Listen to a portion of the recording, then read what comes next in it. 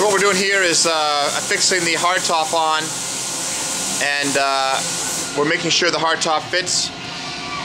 It's in great shape, really in excellent, really mint condition. But what we're doing is uh, making the sure it fits down the sides here and the transition at the front is good. So what we do is put these on, do a little stretching here and there. That way we're assured it's going to fit before we throw any sort of uh, paint coat finish on it. That goes along fairly quickly. The cowl is off. It's being sandblasted at the front. You can see that missing now. And uh,